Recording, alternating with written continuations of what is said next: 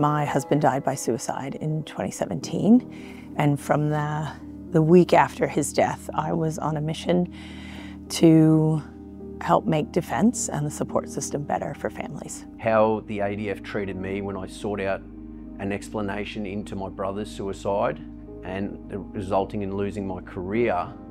As emotional as this journey has been, the support from the Royal Commission and those people that have also had issues with the ADF in the past has been tremendous. And while it's very painful to lose your identity, the career you love,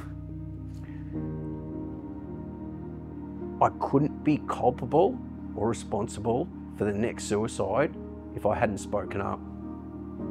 When he died, I thought I was unique, but I was one of thousands. I actually worked with Dave Finney, which is obviously the, the person, the, the sailor that started, I guess, that really catapulted this drive for a Royal Commission. And I held a service for him here in Sydney. And it, unfortunately, in that week, I lost three friends within the service to suicide. So I was like, right, this this just has to stop. We we can't we can't keep doing it the way that we are. The issues that the Royal Commission was investigating are not new. They are decades old and it was really important for us to amplify the voices of the families that fought for this commission. We're really pushing to make sure that the ex-service community work together to make sure we capture any person in need and, and no one slips through the cracks.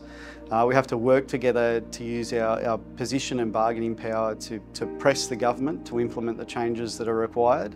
I wanted to be able to tell Paul's story. Um, I wanted to explain that he was an amazingly talented young man and Paul's death, I believe, was directly attributable to the unacceptable behaviour and bullying that he received during his military career.